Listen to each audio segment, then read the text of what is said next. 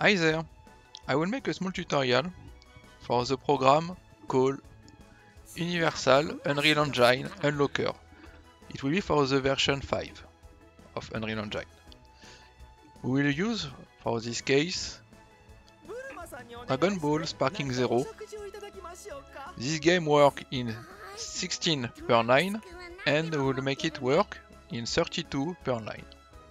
For that, launch the game, appear in the main menu. Launch the program, just here. Here you will have to find the game that in our case it will be Sparking Zero. So in the list Sparking Zero. Inject. We don't touch this part. Now it's appear working in ultra wide, but the FOV is not right, it's not good. So we're going in configuration and here we will choose by X because sometimes it will be like that or, but because in advance I did it like that we have the good FOV.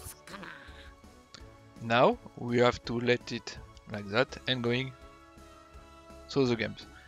The trouble with these solutions you will have just to do this manipulation at each launch of game.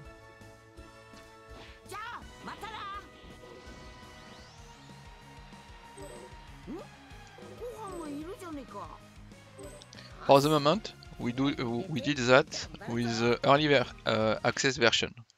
So we will see if at the release it will stay working like that.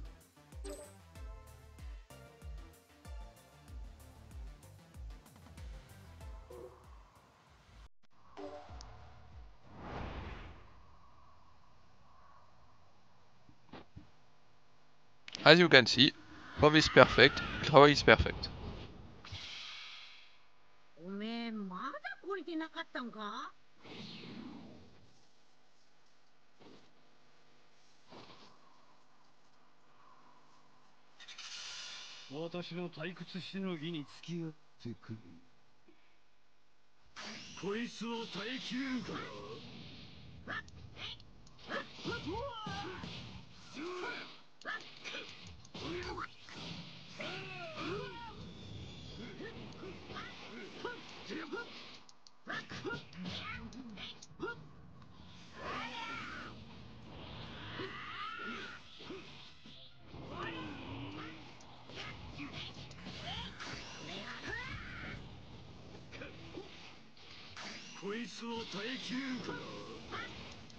Thank you for watching and at the next time.